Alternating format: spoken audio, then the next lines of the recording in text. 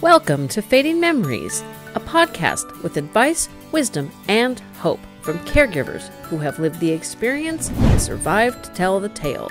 Think of us as your caregiver best friend. Welcome back, Fading Memories listeners, and I thank you for giving us some of your time every week. Today I have Nicolette Harris. She is an end of life doula, which is something new to me, and so I wanted to talk to her about what she does and share it with you. So thanks for joining me, Nicolette. Hi, and it's Amelia Nicolette actually that I'm going by, but um, I appreciate it. I appreciate being on the podcast and chatting with you. My dog wants to bark now suddenly. I could relate. My my listeners know I've got two golden retrievers. We had three. Yeah. I ended up recording in the closet in our old house because that was the quietest place I could get. now, yeah. I, now I have an entire office converted to a recording studio, so it's lovely. But they can still get a little bit noisy. We just have a 10 year old that moved across the hall, and my dog hates children. Mm. So it's anytime they're in the hall doing something, she's like over it. That's funny. Dogs are mm-hmm. such interesting creatures. Really so are. tell us a little bit about yourself and how how you got into being an end of life doula, and then we'll I'll ask some questions about what it is you actually do. Sure. So um, I it's it's kind of interesting. I always say that it sort of fell in my lap. This whole industry and this you know experiences that I've had kind of led me to this path. Um, when I was 18, um, a sister of mine ended up in the hospital for a while, and she had a really major heart surgery, and amongst many other procedures done while she was there. And she needed a caregiver to stay with her. So I was fresh out of high school and needed something to do. So I went to stay with her um, while she was in the hospital.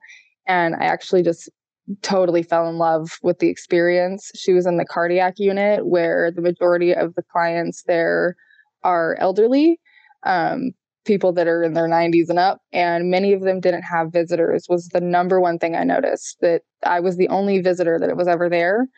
Um, I probably bumped into a couple every now and then, and it was normally like resource managers and stuff. So I kind of fell in love with the experience, went back home with her and took care of her for a while. And then when I returned to my hometown, she was living in San Diego. When I returned to my hometown, um, my friend messaged me and she said, Hey, you know, we're hiring at this nursing home that I work at would you be interested in working here? I know you just did some like a stint in the hospital because I was there for a few months. So I was like, yeah, I would, I, I think that'd be cool. Like, I would like to come and check that out.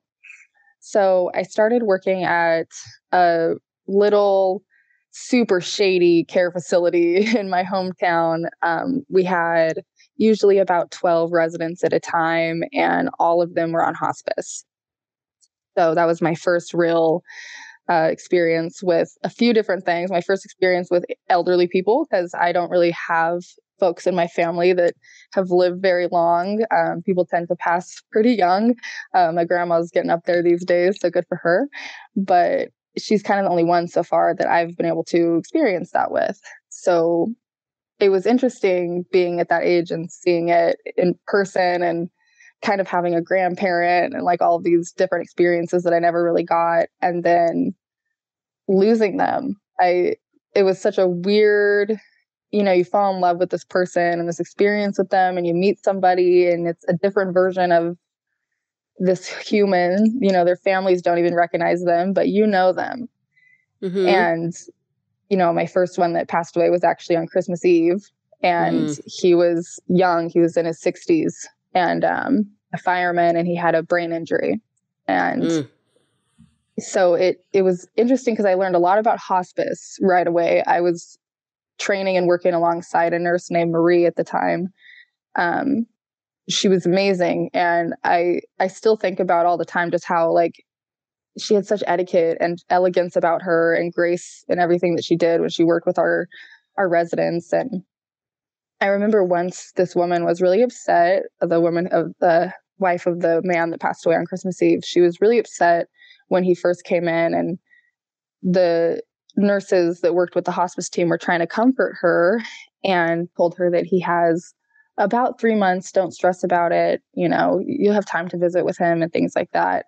And after she left, they all told me that he's got maybe a month. And I remember thinking, why would you tell her three months then? Like, that's horrible. Why would you say that? You know? And they said, well, you just can't. You have to, like, you have to give some hope, you know? And I remember thinking that I just didn't, I wouldn't have wanted to do things exactly that same way, that I felt like there was a level of transparency that was missing from that experience. But I still, you know, I learned a lot. And I just kept observing and stuff. And I ended up working alone the night he passed away. And it was interesting because he was bedbound up until that point and ended up, I, I couldn't find him when I went to check his room. so I was like, oh, okay, like, uh, what happened? beamed and, up? yeah, like I had no clue what had happened. And by that point, I had read a million books about the stages of dying. So I thought, oh no, maybe he had that energy burst. Maybe that's what happened. You know, he had all these other steps. Maybe that's where he's at. And I walked into like our main room. We had this like main hall room, and he was standing at the front door. It was pouring rain. And he was screaming outside the door that he saw a, a friend of his and his wife who had passed away years before. And he was like, How are they here? They're gone. How are they here? And he was so confused. And I mean, I don't think that I existed in his line of sight. I just think that I was an object in the way. So he punched me in the face as Oh, hard as he could to get me out of the way. And I was totally shocked and drenched because it was pouring rain and I had to get him inside. And I called Marie and she had to drive 45 minutes out to come out to see me.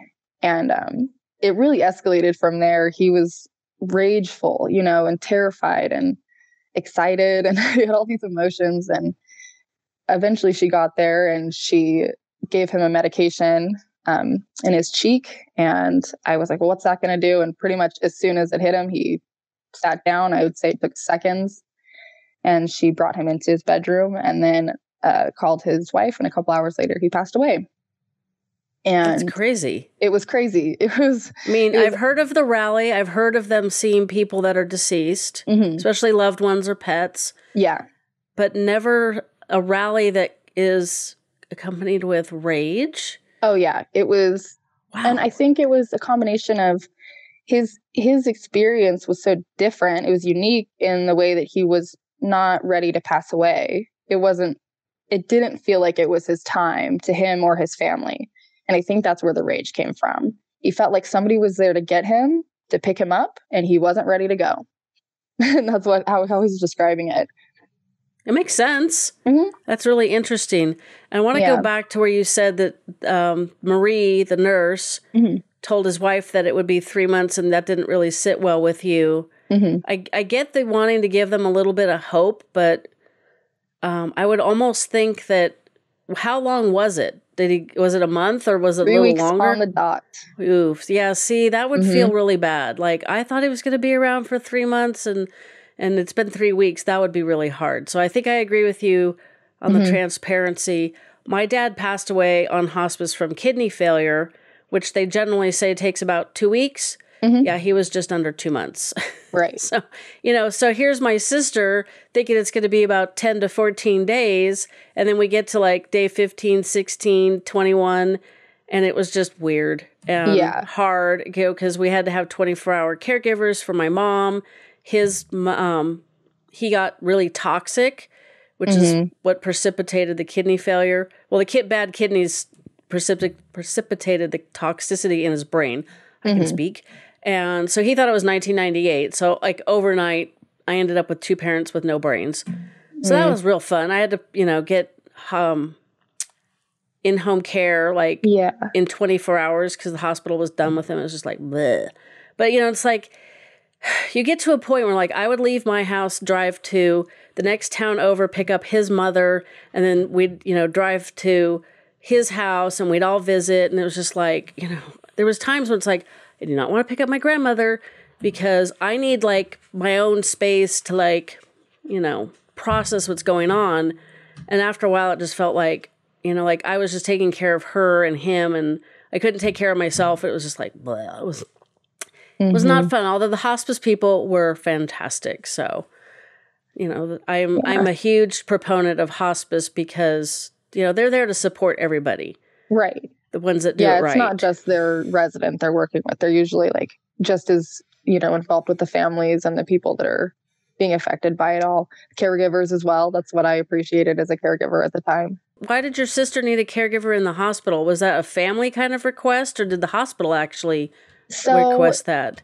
it was uh, kind of a combination. Um, she knew she was just going to need someone by her side through it. It was a really, really intense experience, intense enough that she's in like textbooks now. Um, Oh, wow. So it was very, very insane, and um, and a lot happened in that time. So it was just easier to have somebody that could be there for everything and be at all the appointments. And she was not really coherent for a lot of it. Um, her cognition just wasn't quite there because of the medication she was on and things like that. So it was good to have like an advocate there for her.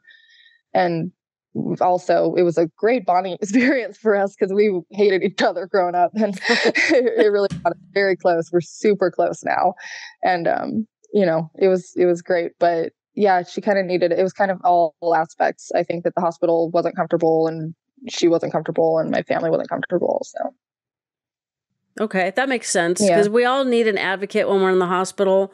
When my Mhm. husband was in the hospital, I did most of it on the phone because the hospital's like 45 minutes away. And, you know, it was like the surgeon's supposed to come talk to you about lunchtime. I was there at lunchtime. I waited and waited and waited. I'm like, I'm about ready to chew off my arm, starving, Mhm. but I'm going home. I'm like, as soon as I pull out of the parking lot, this, this, you know, will show up. Um, so I had to do most of the stuff over the phone, but my husband's cognition was fine, but they, the hospital is just slammed. Yeah, So they were they were in like literally the um, post operative bay. I think they had like almost fifty beds, no windows, no privacy, one bathroom, and I just kept looking at the older adults, the senior citizens, and I thought this is so terrible for their brain. Like I was worried about my husband, but you know he had his AirPods and he was watching stuff on his phone and listening Right. to things. So it's like, but when the um, physical therapist took him out in the hallway and it was like bright beaming sunlight, it was like he did not want to. He was like, "No, we don't need to go back. I'm just going to stay here." And it's just uh, hospitals are not the best place for us whatsoever. they're not and it's not a good place to actually get better um you know really you want to heal at home but it's also sometimes you don't have the tools to do that there That is true. So, it, tell us exactly what an end of life doula does, because this is you. Your profession is not one that I've actually had any kind of connection to. So I'm completely clu- not completely clueless, but mostly clueless. so advocacy advocacy is really like the biggest thing um, having somebody there to support you to kind of guide you through the steps that are happening towards the end of your life um, for me i do things like helping folks write up their advanced directives helping people write out their wills um, it's interesting because the primary client that i get is actually new parents new Okay. parents they're freaking out so they all want to start setting up plans because they're panicking so I think it feels good to have something that is structured for them. Um, so kind of setting up a plan and putting a plan in motion. And contrary to death being in my title, I really enjoy life and I'm like a super life enthusiast. I love life. And I just think that having a good relationship with knowing that you're going to die at the end of it helps you really enjoy the moments and kind of live with a little bit more freedom and a little less anxiety. At least it's helped me.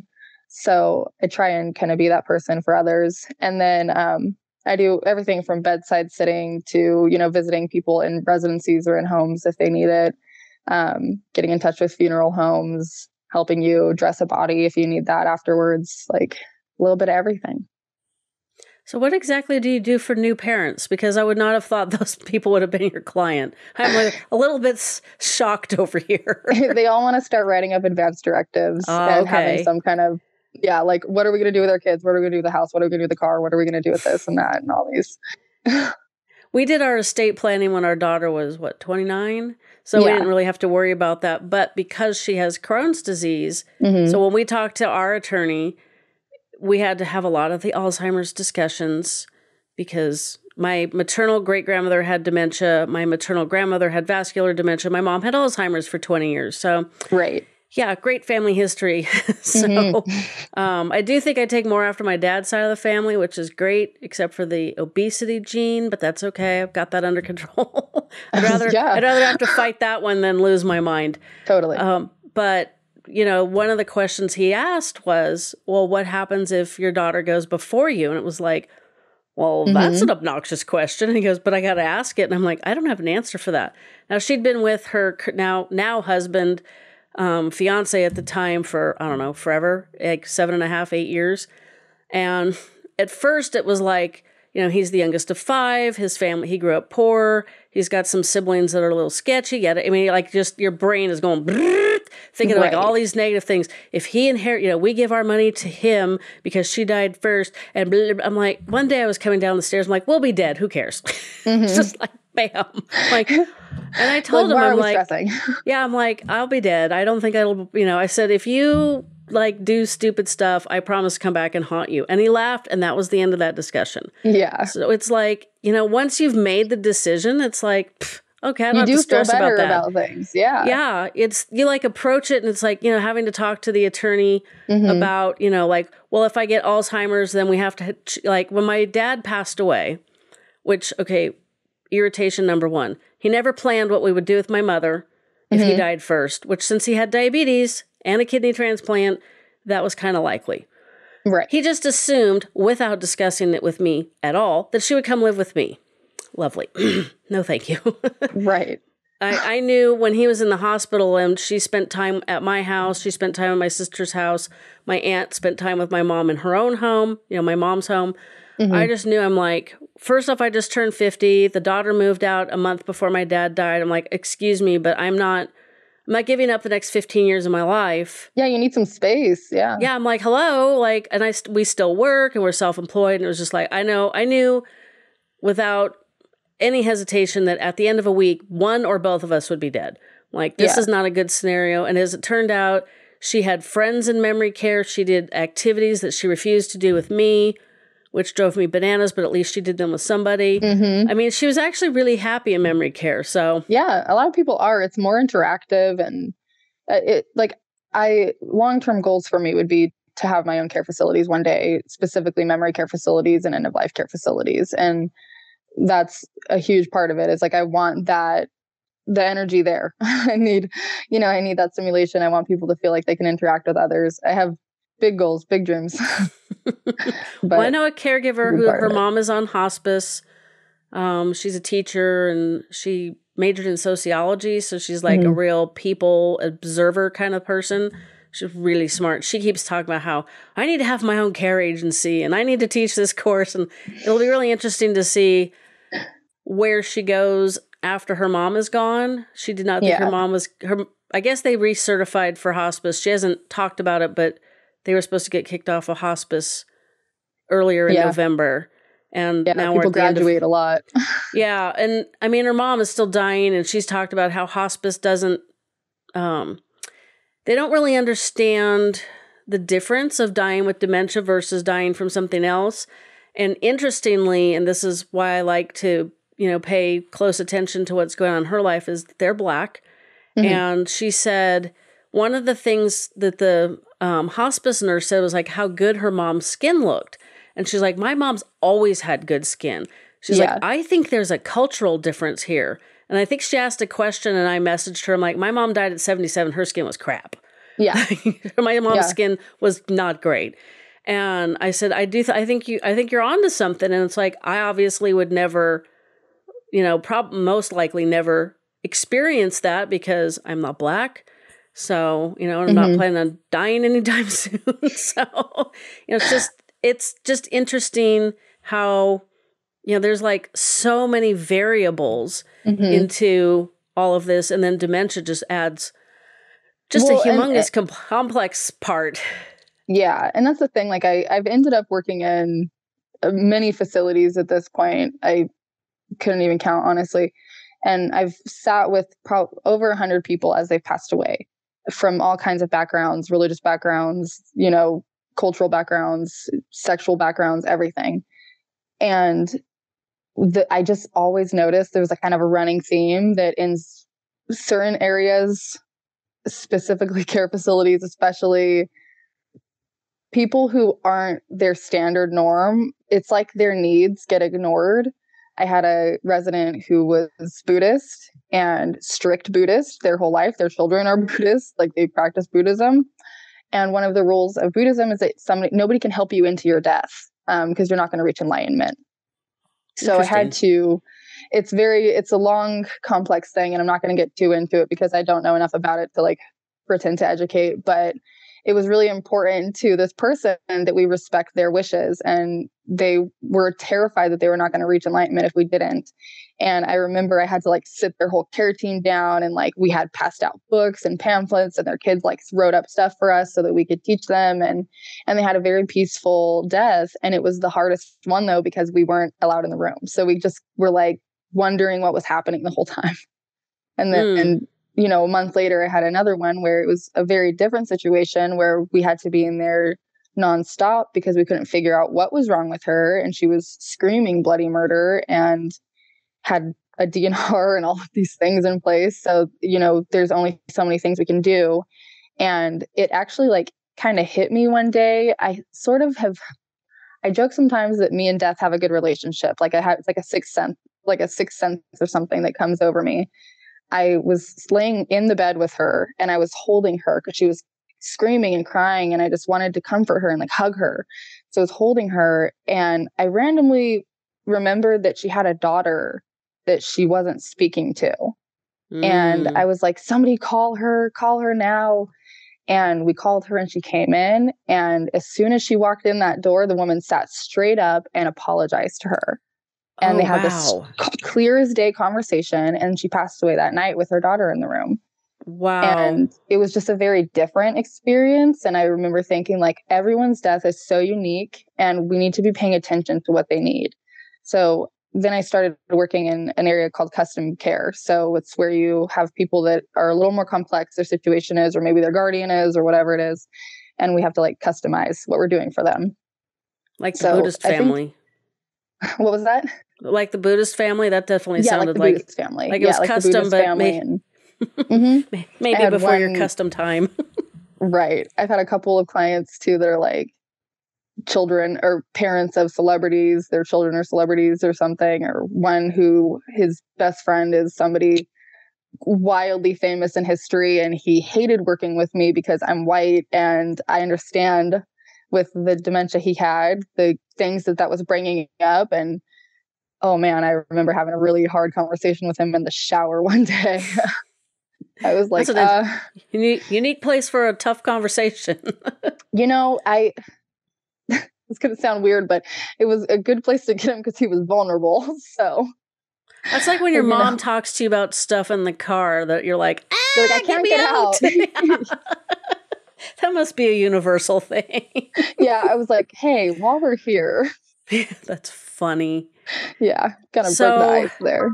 See, I was not present when either of my parents died. My parents mm-hmm. lived 20 miles away, and I was just not going to stay at my parents' house while my dad was on hospice because, you know, it was almost two months. I'm like, I could not have done that. I thought about right. it, but I'm like, I just can't do that. Even with the caregivers here, you know, there wasn't really a place to sleep, and it's just like, I don't want to be here. And he yeah. would, he got really verbally abusive at the end and so it was like mm-hmm. no thank you i was lucky enough the week before he died i was there he went down the hall to use the bathroom and came back it took forever and so he was standing up so i managed to give him a hug and tell him i love him so that was all good.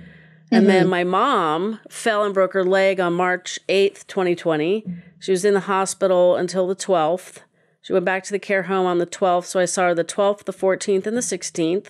Mm-hmm. They, um, then the, you know, governor of California said all of the, all of the towns in the, all the counties in the San Francisco Bay Area are hereby under lockdown. So I mm-hmm. did not see her the last two weeks before she died. I did get to see her the day before.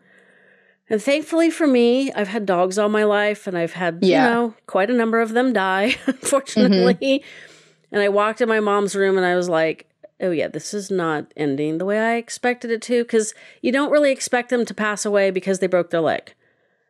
Right. But that's pretty much what happened. You know, she just wasn't eating or drinking and she passed away within let's see that was monday morning. She passed away tuesday right after lunch. You know what's interesting about that though is that people don't expect that but that's actually i i just had a death in our family this week and an elderly family member passed away and it was due to a fall and that is like like a fall a cold that'll take somebody out. Those are number one when i see you know when i go into a care facility if somebody's like oh yeah she just broke her hip okay then i'm we're counting time down at this point then like it's th- it's number one I think if it had been her hip, I would have been slightly more prepared. Mm-hmm. You know, of course, this was at the time when everybody was like, WTF, this COVID thing, huh? What? Right. And I mean, the whole experience when my dad died, we had a huge funeral. I got cards and flowers and meals and just like tons of love pushed my way, which was nice.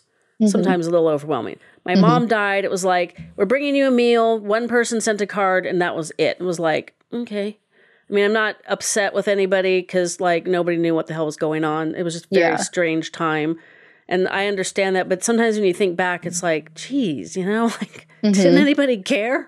It's just very strange. But yeah, if it had been a hip, because yeah. I'm I'm super familiar with frailty because I used to have a right. gerontologist talk quarterly on the show, mm-hmm. and that was one of the things I asked her was about frailty. I forgot how that came about but it's basically like your body just starts you know it can only take so many like hits to the health yeah. beater and you know that's usually like the last straw and that was what it was for my mom and i mean the just, reality of it is at a certain point you know we are living off of medications and not because our body wants us to and that's mm-hmm. just like a part of being I, I think you know, I have a lot of theories about what that is, but I think that a big part of it is that we are all afraid to die and want to live the longest versions of our lives that we could possibly get out of it. And and it's interesting, you know, I have a a woman that I care for, and she actually just turned 110 uh, a month ago.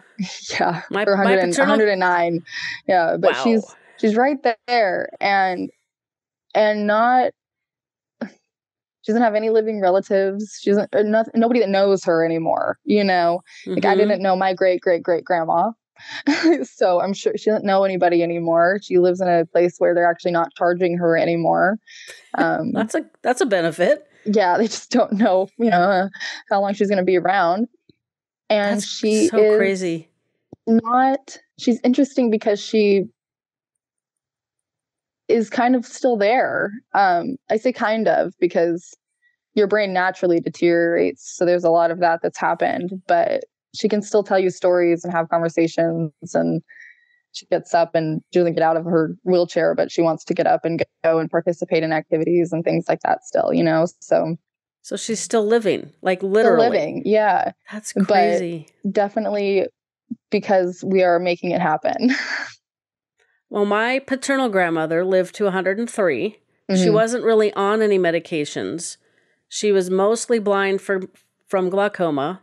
Wow. And then about 101, she got really profoundly hard of hearing, mm. which was super frustrating because you had to like literally scream, like almost like you'd sit next to her and like rest your chin on her shoulder and just yell in her ear. It was like not fun.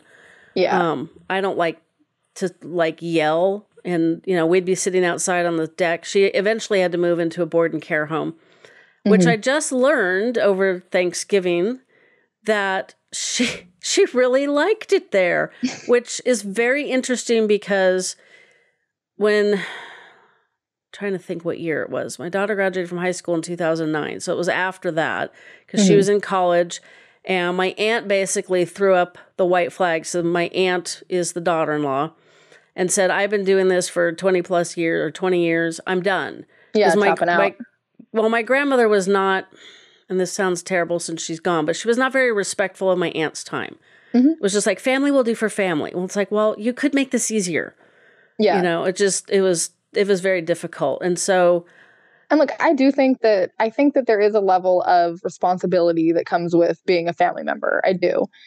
Um, I, though, however, also respect the fact that some people don't want to and don't have to take that on due to whatever feelings or experiences they've had with that person. There's people in my family that I will make sure are in a nice, safe care facility one day so that my sisters don't have to deal with it. You know, there's people in my life that will move in with me when they're older so that I can take care of them, so that my siblings don't have to do it. You know, there's, and it's just because I know. so, and I don't want them to have to do that. Like, there's, and also I think, you know, I used to hear that phrase like, oh, you know, some people are made for it. You're made for this. Like some people are cut out for it and some aren't. And I would get uncomfortable and I was like, everyone can do it. At this stage in my life now, I truly do appreciate that. I actually do think that there is people that just are made for being able to kind of check out and some that aren't. You know, I've had this experience even with caring for criminals at the end of their lives and knowing what's been going on, knowing what they have done, knowing that they've done horrific things, things that you know, if it's interesting, like in any other situation, in theory, somebody would freak out about. And I saw many people refuse to care for them and stuff, but I just, I don't know. You know, it, that, I don't know. I just check out. That's really interesting. I do think that there are some people that just, I mean, they could probably work their way up to being a decent caregiver. But mm-hmm. um, I had a recent episode called Caregiving with Love and Joy, and one of the standout comments that my guest made was that, you know, if you're not capable or willing to do this 100%, that you need to find somebody else that can because mm-hmm. your family member deserves 100%. And I liked that because one of the things I hear a lot, you read a lot on social media is, oh it's it's such a um what is the correct term um it's such an honor to care for those who have cared for you and nobody has been able to tell me why exactly they think that. It's just one of those stupid memes that people put up that make them feel better. And I yes. don't understand it because I did not feel honored taking care of my mom. She thought I was her best friend. So we didn't have any of that uh, more intimate family relationship because, right. you know, like if you think about how you are with like your mother or your spouse or your sister versus mm-hmm. how you are with your best friend, that was the difference. So there was always kind of that little bit of formality. And so no, I didn't feel honored. Like I didn't feel burdened per se. I mean, mm-hmm. there was a lot of challenges, but that was more the medical industry and just, you know, dementia in general but it's yeah. like it makes me crazy. It's like please stop saying that because it makes some people feel really really guilty because they yeah, and honestly, angry. like there is some people that I feel honored to have gotten to work with, and there is some people that were shitheads. Sorry if I can't say that on here. That's fine. One one but, or two is okay. but that was just the reality, you know. There's a lot of people that I that passed away, and there was a sigh of relief in the room. Mm. And that's just it. That's just it. And and honestly, that's a type of grief too. There's complex grief that occurs when people when you lose an abuser or you lose somebody that you you know grew up with that bullied you or so you know whatever it may be that happened or somebody that maybe you didn't agree with politically or and you're like oh hell, you know heck yeah that person's now gone whatever it may be you know that's still valid and those feelings are still valid and you should still be allowed to feel them and I don't think that just because somebody is now gone or aging or whatever it is, you have to change your feelings about them. That makes sense. I mean, I you miss know? my dad, but there are times I'm like still angry that he didn't, mm-hmm. pl- you know, he didn't allow my sister and I to help care for our mom. Mm-hmm. Um, even when we offered and tried to do things, we got rejected. So when he died, it was like, oh my god, holy holy crap! like, yeah, she is way worse than I thought because he was a buffer. I mean, I knew she was bad, but when yeah. it was just the two of us, it was like worse than I thought. Mm-hmm. And I'm like, I had no idea what to do. You know, you, you think you know what to do, and then all of a sudden you're thrust into it. You know, he assumed she'd come live with me. So I was like, you know, I'm like, I'm, I was just having this conversation with someone who just lost their mother, and um, she's a little irritated with hospice, but I think it's just grief. You know, she's in that mm-hmm. anger stage. And she said, um, did the hosp she was asking on her Instagram story, did hospice um, provide grief counseling? And I said, mine did. Both mm-hmm. of them, but my mom died during the pandemic, so it was more like we can talk on the phone if you want. I was like, no, go away. it's like I don't need you yeah. people. I have a, a I'm in an Alzheimer's support group, so that's fine. Yeah. Now I facilitate one, so um, and I told her, I said, um, they had one, and she's, you know, I said, yes, my hospice, both companies had one, and she said, um, what what did they do? And I'm like, basically general grief counseling. And I said, the Alzheimer's Association just recently started an Alzheimer's grief support group and you get to do that for 2 years because of course they started that I believe at the beginning of this year so I was like mm-hmm. I'd aged out of the 2 years before they even started it. and I said right. I think that would be better for you because the hospice group is not going to be able to deal with some of her other feelings. Like, you know, it was just her and her mom dealing with dementia. She had a really um, unique version of Alzheimer's, if I could say that correctly. Yeah. And so, you know, it's like, I'm glad the Alzheimer's Association has that because I don't like. I went to the one grief support group with the hospice company after my dad passed away, and I was like, "Well, I got to make everybody else feel better, but I feel like shit." So, right? Because I'm like, yeah. "Well, I miss my dad, but I got this whole other problem over here to deal with that has nothing to do with grief, except it does, but it doesn't." It was very complicated. So, very happy the Alzheimer's Association decided to yeah, to do really that. cool. That's yeah, really just, nice. I harassed my chapter because I'm like, now you guys do that. Now that I'm like, you know, a month and a half shy of two years. like I'm this like, deep into the grieving like, process now. Like, and thanks. Do do I get any? Do I get any? uh like not bonus points, but do I get any credit for you know COVID being yeah. a problem? well, and I just also feel like two years is such a weird amount of time. Like I I lost a friend in 2020, um, my best friend's sister, and it was insane. My whole 2020 felt like a Dateline episode. Like everything that could go, literally everything that could go wrong went wrong. I have, I can't explain it, but we lost a friend, we lost her, and um, it was crazy and a different type of trauma um, entirely. And then it was followed by a million hearings and trials and things like that. And um, her sister and I were just recently talking about how we've started to say things like, well, no one died today. Oh. to like make up for a bad day.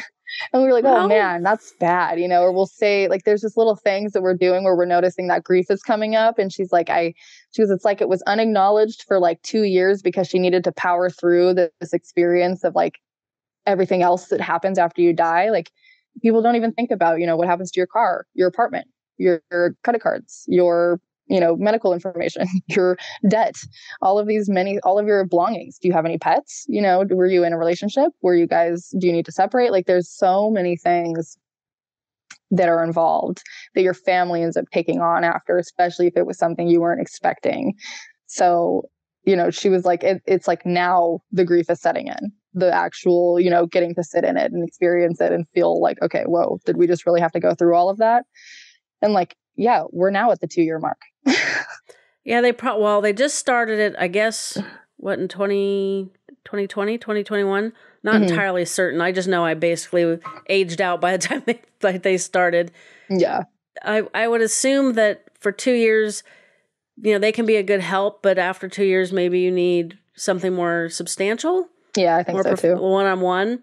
Yeah. That would be my guess. I haven't quizzed them on the why it's 2 years. I I kind of feel like 2 years is is reasonable for most people, but mm-hmm. it also depends. Losing my dad in 2017 and losing my mom during the pandemic, and then we lost a dog, and then we lost my grandmother. It's just like, yeah. the last three years have been a little bit traumatic. I'm over it. Mm-hmm. Um, I think it was you, or I was talk, no, I was talking to somebody, and they're like, because the end of 2022, we're going to the Rose Bowl parade, which has been a bucket item. This awesome. this episode will come out after that, but mm-hmm. um, so this gal I was talking to, she's like, "Hey, that sounds great." She's like, "Maybe you're turning over a new leaf." I'm like, "Hell, it better be a new whole tree." You know, it's like a new whole tree, whole Seriously, tree, like a whole big sequoia tree of change, right. please. Because it's just been it's been a lot. You know, we moved to a new county. We're two hours away from my daughter. It's just been like a lot. Yeah, but it's okay. You know, it's like I'm strong enough that I am I've powered through some situations that have been challenging and I'm I'm glad that I can do that but there've been some yeah. times it's like yeah I wish my health healthcare company or whatever you want to call them had more you know mental health professionals because there are days when I mm-hmm. need to mm-hmm. talk to one yeah so you know I that's kind of how I feel it's like cuz I have some of the stuff that crops up when I have like a negative outburst, it has it goes all the way back to childhood, and I know that. So it's like, yeah, it'd probably be helpful to talk to somebody if they had enough people to talk to. so right, yeah. So one of the things I wanted to ask, and I know we have to be kind of delicate, but last mm-hmm. week's guest Anna mm-hmm. worked with you which is why Yes. I'm putting your guys' episodes together.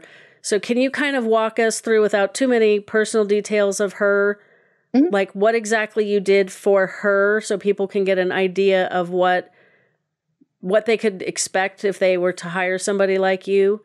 Yeah, because you, you so- sound a lot like a hospice nurse. Do you replace a hospice company? Now we're going to take a quick break for an ad. These ads help me continue to bring the show to you for free. When I learned that despite eating as healthy as possible, we can still have undernourished brains, I was frustrated. I also live in a farming community, so I'm aware that our food isn't grown as well as we need. Learning about NeuroReserve's Relevate and how it's formulated to fix this problem convinced me to give them a try. Now, I know many of you are skeptical, as was I. However, I know it's working because of one simple change my sweet tooth is gone. I didn't expect that, and it's not something other users have commented on, but here's some truth. My brain always wanted something sweet. Now, fruit usually did the trick, but not always. One bad night's sleep would fire up my sugar cravings so much they were almost impossible to ignore.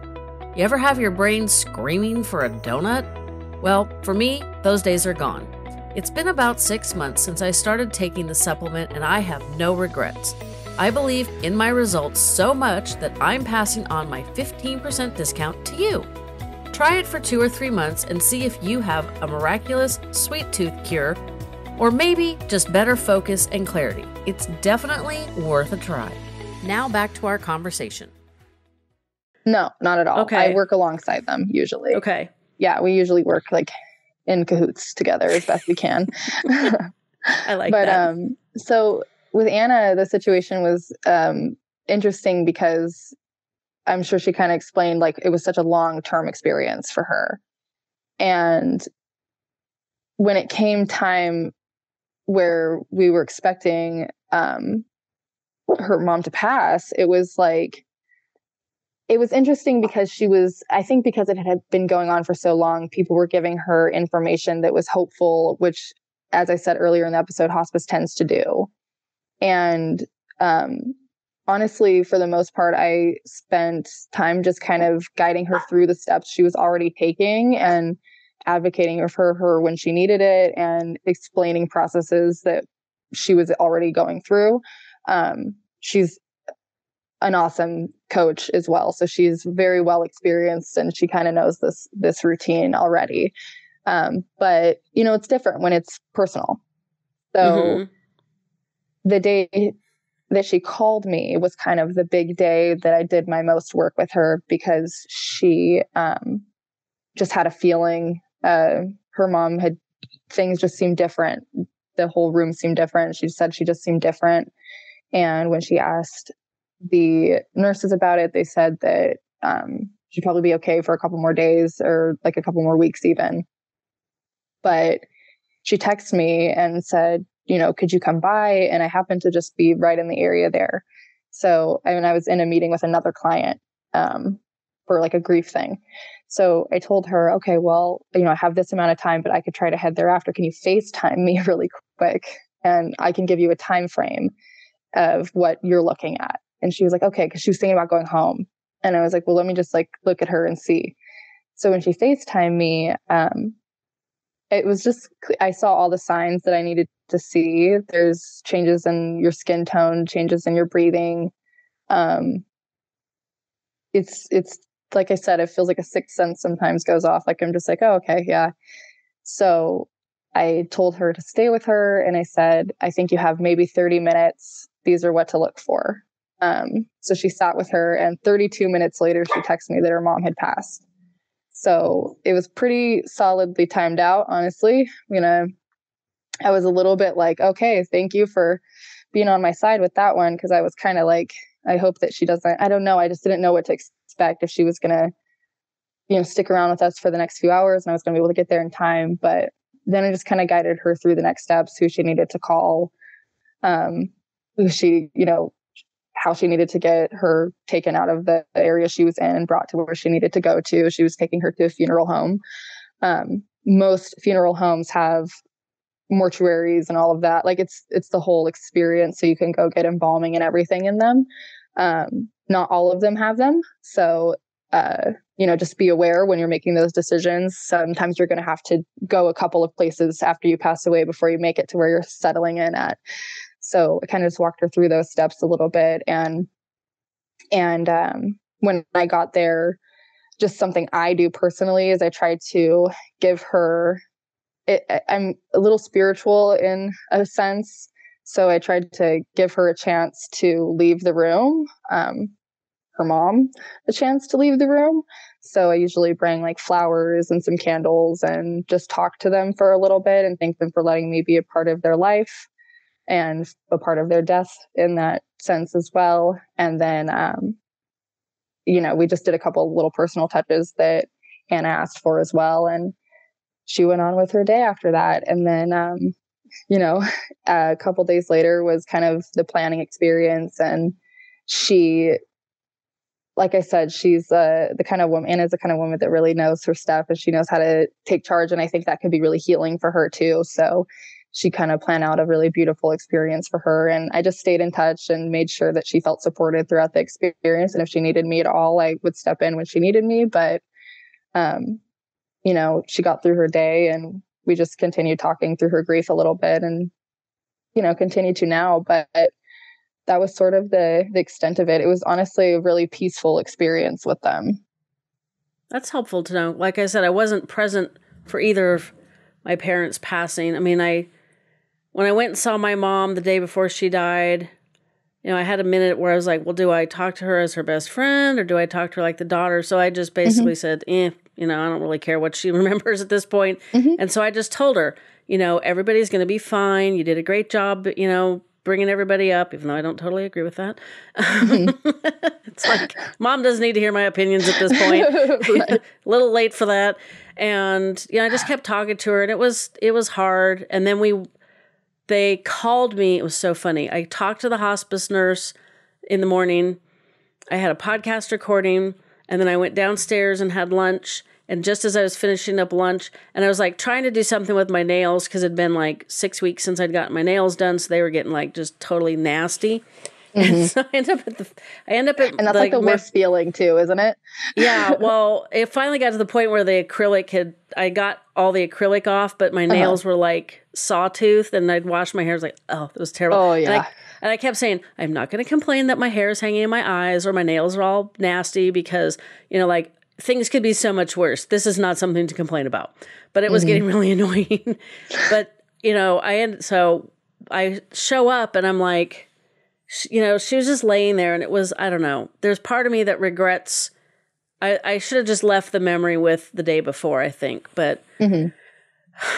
I don't know. It was just weird. And I get that. I, and I think that's the case for some people. Like I I've had so many experiences where the my resident's child didn't want to come in and understandably you know it's, it's a different person at that point mm-hmm. that they're experiencing and they're seeing so and like there's been a few times too where you know the kids did come in and curse them out oh I was like, all right, you know, power power to you, whatever you need to get it out of your system and go for it. And then after they leave, I'm kind of like, sorry about that. You good? Like I like hearing yeah. that because I'm glad I never felt the urge to do that. It was weird though when the yeah. the hot let's see was it I think the um, caregiving company called first to tell me my mm-hmm. dad had passed away. It was like 10 20 at night.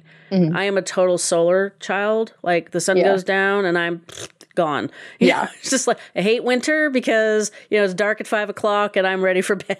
Oh my God, I get that. Like we're we're we're really extending our energy here tonight. yeah, for real. But my husband's not home and you've mm-hmm. been really busy. So this worked out fine. I know. I appreciate you so much, really. like I, it's been chaotic to say the least. Oh, well, I guess that's good and bad. Yeah. Um, I, I talked to a guy during the pandemic who's in Israel and oh, he's wow. they're 10 hours ahead of us. Yeah. So my little I like late mornings to, you know, late afternoons, which is like pff, the middle of the night. And now I have one um, in January that we're recording. She's also in Israel. I don't know how I get hooked up with these Israeli people. They're American expats in Israel. Yeah. And I had to actually adjust my schedule online so that she mm-hmm. could schedule. I'm like, okay, fine. But I've talked to people in the UK. They're like eight hours ahead, and sometimes I get all like dressed up on the top, and then like yeah. workout clothes on the bottom, and then we're done, and I go do my workout, and then I shower. you know, whatever it works. You know, I just, swear, I looked much nicer before we got on the call. I was in like business, I was in meetings all day, like that kind of stuff. But I just was like, I need a sweater and cozy for this. Yeah, that's fine. uh, the my YouTube channel is not huge yet, so we're good. It's like I I have to get over the like oh I hate it when my hair's like not freshly dried and looking all perfect.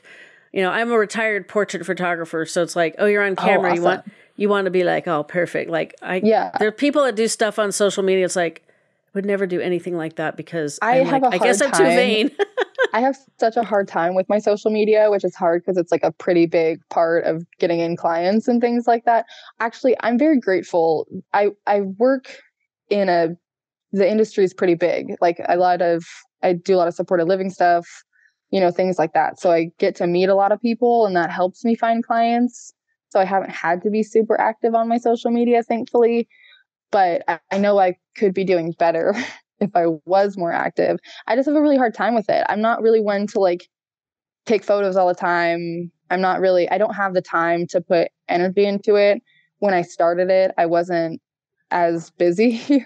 I didn't have, it was in the pandemic and we weren't allowed in care facilities and things like that. So I just, it was easier to kind of, you know, get around it and do the social media thing. But now I'm just kind of like screwed. so I don't have the time for it. And I'll catch myself every once in a while like, oh, that, that'd be a good post. Put it in the notes. So I have yep. a notes full of great posts, but not actually I've, happening. I've learned to do pretty, I like love it when I can do something in one take. It's like, yes, awesome. Yeah. Saved myself 10 minutes. You know, so that's just, but yeah, I'm really fussy. But anyway, so where mm-hmm. can people like learn more about end of life doulas and where can they learn about you if they're in the Pacific Northwest area? Because obviously you're not going to be helping me anytime soon since I'm in Northern California.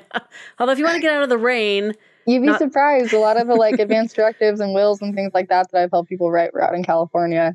So it's you know I'm from out there, so I have a lot of family and friends and stuff from out there. So I think that's been mostly why. But um, yeah, uh, Amelia Nicolette dot com is my website. Um, at Amelia Death Doula for my uh, Instagram. And for the most part, if you want to learn about death doulas, you got to just Google us and you're going to find all six of us on there. all six of you? Okay. no, there's more now. There's more now. But it really was like for a long time. It was like, you know, you, there's like a handful and that was kind of it. Although the other day, um, Chris Hemsworth came out mm-hmm. with a show on Disney, and I'm not going to plug his show because, you know, he's not paying me. But in the last episode of it, he hires a death doula, and it was actually my teacher, Alua Arthur, and she was um, she's the educator for Going with Grace, which is the program I went through to get my certificate for my death doula.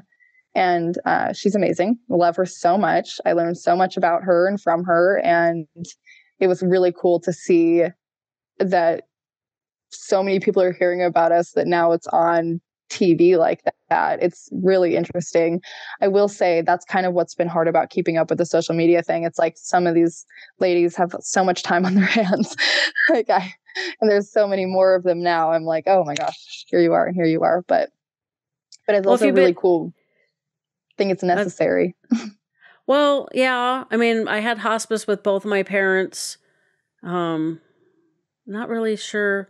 I guess because for the most part, I am the youngest of my social group. Mm-hmm. Sometimes it's kind of annoying, but especially as I'm getting older, it's like, ew, some of my friends are starting to get up there in years. like, yikes. yeah. like, you guys all better live as long as my paternal grandmother, because, like, hello, I just met you. Um, right.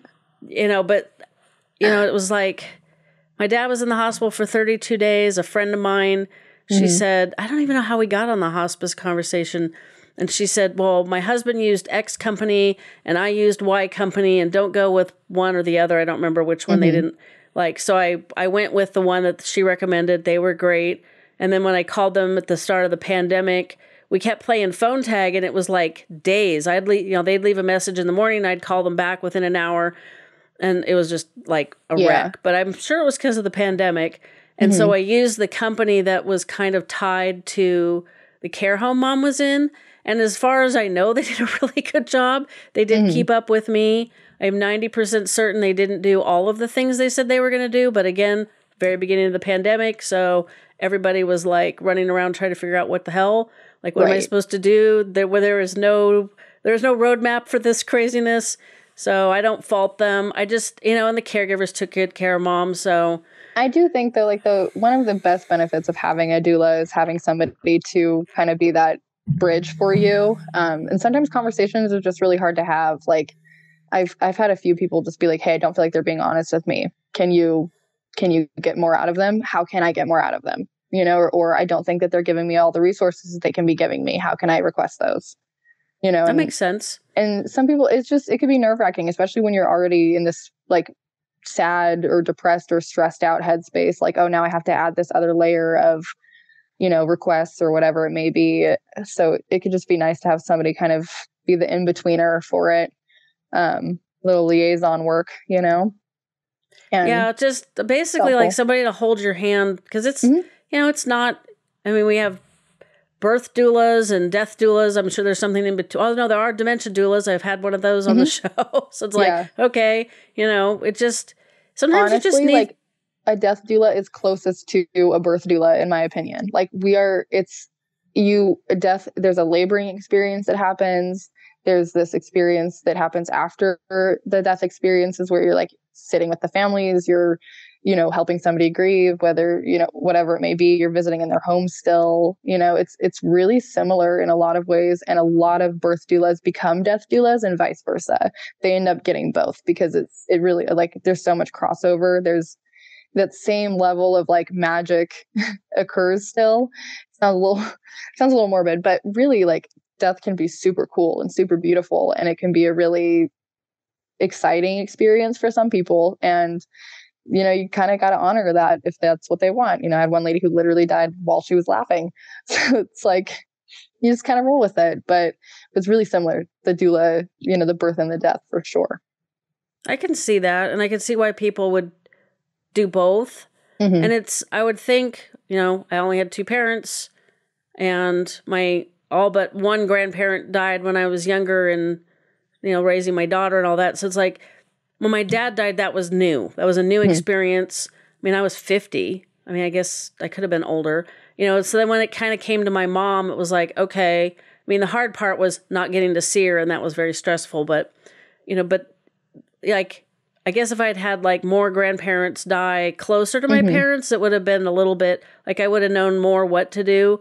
But I guess we got lucky because we know a lot of people. Like my dad went to funeral mm-hmm. parlor that was owned by his friend. He was cremated. I'm 99% certain they didn't do it. I know they didn't do it there, but I didn't have to worry about all the transportation. Right. Like, and then the funniest thing is we couldn't find my dad's wedding ring after he died. so I had to call up the funeral director and go, Can you please go check and see if he's got it on him? Oh my God. I was like, I'm not going to go look, but you can go look. yeah. And it's just like the, you know, I'm like, is that weird? But my sister was very stressed out. You know, he'd been in the hospital, then he'd been home on hospice. Like, did it? Yeah. Did it disappear in the hospital? Did one of the caregivers take it? Because we had a couple caregivers we had to fire from. You know, tell the company mm-hmm. not to send them back you know, and it wasn't like any kind of fancy band or anything. They got married in 62, but you know, it was important it's to her. So I'm like, yeah, exactly. So it's like, okay, well, let me go yeah. ask if my dad's wearing the wedding ring. It was he was him? not. No, oh. and we never did find it. Oh, we looked wow. for it when we cleaned out the house. I have no idea where it went. Yeah. So, but it's like, you know, we had that kind of relationship that I could ask him that kind of question. Yeah. you know, I didn't, I mean, I didn't, I felt a little weird about it, but not, not so weird that I was like, oh, never mind, I won't ask. Well, right. I mean, I'm, I know when they cremate him, the, I don't think the metal would have melted. I don't know. I don't want to no, usually, and they normally take all that kind of stuff off. So that's true. I have yeah. a metal plate on my collarbone, and that won't. That I guess they have to take that out, or that won't. I don't know where that'll end up, but yeah. Nowadays, like my my daughter and I want to be turned into trees, but now we can. I think starting in 2026 or 7 we could do uh-huh. human composting you can which sounds yeah, kind of gross list. yeah but it's like i'm kind it's of into beautiful. that i think it's really yeah. cool um, have you ever looked up if you look up recompose life on instagram Um, Recompose Seattle is a composting, a human composting site up here. It's so cool. It is really a beautiful experience. They turn you into soil. It's not a super long experience, and you can go home in a little pot with a tree and plant you somewhere. And it's better because, you know, a lot of people think that your ashes are like nutrients, but it's not. It's just ashes. So it's not really, you know, when you plant it in flowers and stuff like that, like you're really not doing anything for them. So the human composting is actually like a very realistic, natural way to get what you're trying to get out of that. I have a lot of family who buried their ashes under trees and growing up I was like, oh beautiful, now they're a tree. But then I learned I was like, oh no, they probably just evaporated and blew away. But well, I, I became a little bit anti graveyard when mm-hmm. my paternal grandfather passed away in 97. And he was in a lead lined coffin in a cement lined hole in the ground. I'm like, this is not, I'm not religious, but this is not ashes to ashes, dust to dust. Right. Like, I don't know. He might still be there. Lord only knows. I don't want to right. think about that either. But it's For just me, like. It, it changed when I learned that in, it, well, I, I want to be donated. My body's going to get donated to science and kids can learn about me or whatever. But I do want, you know, one of the things that I want people to realize is that like we're running out of space. Mm-hmm. Like that's the reality is that there's a lot of us and not a lot of land. Mm-hmm. And in most countries, you basically rent out a spot for 10 years and then after that 10 years you're thrown into the common space burial plot. That doesn't sound um, nice. Yeah. Or you could rent out another 10 years but like is your family going to do that for you? Most likely not. You know nobody really wants to pay the extra 10 years. They're going to just move your body to the common space. And that's very quickly what we're going to be doing here. Um, there's already like small islands where they're doing that. So i just think you know at a certain point you got to find alternative routes you know like or or be comfortable with being layered up because you're going to be that's what they're going to start doing is stacking people most likely. Well that's how my maternal grandparents are. They're in a like double layer yeah. um grave. And mm-hmm. so okay this is my weird morbid this is the hospice team told me they really appreciated my morbid sense of humor. So i'm like okay, well, so grandma's on top for eternity. Alrighty then. You know, it's just like, I, I mean, it's just weird. And then there's like enough space so the youngest sibling, you know, the youngest of their kids, my aunt, yeah. can be cremated and stuck in there with them. Like, it just sounds all complicated. And, yeah. you know, I'm here in California. We don't have enough homes and we got these environmental laws. And it's like, oh, mm-hmm. the hell mm-hmm. with it. You know, I tell my family, if there's any working parts left, please donate them. Yeah. Definitely. Um, I, I, plan on using them up. Doing. You know, I'm mm-hmm. going to be like my grandmother, lived to at least 103. That's another 46 yeah. years, uh, if I can uh-huh. do math. Uh, 47 years. You got um, this. and, um, you know, so I plan on using up the parts. But hey, if anything's left that somebody can use, like, please Pass give it to them. I'm not going to yeah. use it. Um, I don't know about being donated to science. I might have to think on that one. I don't know that I'm that interesting, but you never know. It's just, but I like the human composting because I don't. It's just, it's like almost like a rebirth, which is kind of weird because again, I'm not yeah. religious, so it's just like well, I'd rather. So one of the questions that we ask as doulas to try and figure out what people want because sometimes that's a complex question. What do you want to do with your body after you die? And they're kind of like, oh God, you know, I don't know. I haven't thought about it. One of the things I ask is, do you think your body and your soul are the same? Like, do you think they're connected? You know?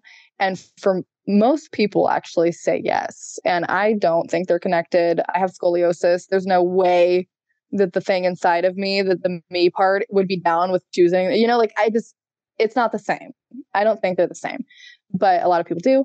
And usually people who do believe they're connected want to be buried. They don't want their body to be destroyed like cremation or, you know, in some other way.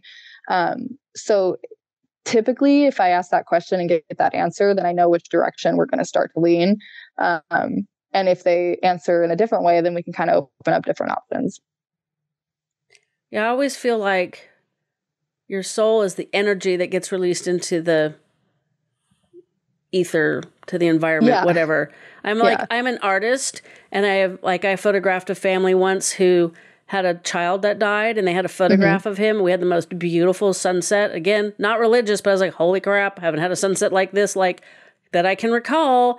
And right. I just had this like really strange abundance of creative energy and I'm like this is weird like this kid's energy is like surrounding my energy and I'm like yeah. when you die your body just gives up and your energy goes out you know so if you believe in reincarnation your energy goes somewhere else mm-hmm. I don't know I don't think about it too much because like I said I plan on being around for another 47 years so. right you got time to contemplate later I do and you know she, you know she she was fine except for the glaucoma for a long time so yeah that's that's my it's plan it's been a big topic in my house growing up in a weird sense uh, because my dad's an astronomer. So we always would go out and look at the stars and watch meteor showers. We have this humongous telescope that we call the Hubble because it takes up the whole yard. And you know, it's it's cool though because he would tell us, "Oh, one day my soul is going to leave Earth after a while. It's going to go up to outer space and it's going to latch on to some orbit somewhere else, and I'm going to drive into another you know, some other rock in the outer space world and become a planet and I'm going to become a god. And that's how okay. my dad thinks that he's going to be able to become part of the energy that creates a new planet one day, which, you know, is just like his little goal, his little astronomer's goal. But I remember thinking growing up, like, oh, okay, so that's what happens. Like you die and then your soul gets to kind of just like decide what it does next, you know, and, and I don't necessarily think that now, but I liked the idea and I liked being able to contemplate it growing up and having all these options because my mom is more religious actually. So I had kind of a difference there and they never really made any of us kind of favor one or the other. it was sort of just like a conversation was on the table at all times. That's pretty cool. I yeah, like the idea cool. of like your soul becoming part of the energy that creates a new planet. That's pretty cool. We'll have cool to think idea. on that one. Yeah, I like yeah. that. Let, my husband would be big on that. He would like to be shot into space, which if that's what he really wants, I'll do it. But I'm like, eh, there's enough crap up there. We really don't need to be sending more up there. But right, I will honor his wishes because I'm a nice person. so your website will definitely be linked in the show notes, and I will um, tell me the Instagram handle again. Um, at Amelia.deathdoula. I almost forgot it just now. Well, I will make sure to tag you in the posts when this episode comes out, which will be after the week after Anna's comes out. We were talking awesome. about taboo topics of end of life, but it was yeah. about three and a half weeks after her mother passed, so it it would ramble on on other topics, and then she'd bring it back. And it was a really interesting conversation, and this one kind of helps tie it up. So this is great glad yeah. we finally managed to get connected. I know. I'm so glad. Thank you so much for being so patient with me. I'm so glad I have a voice again. yeah, for real. well, I appreciate this. And, you know, maybe we could do this again sometime. Yeah, definitely. It was nice chatting. You're welcome. Thank you. Mm-hmm. Thank you so much. Fading Memories is also available wherever you get your favorite podcasts.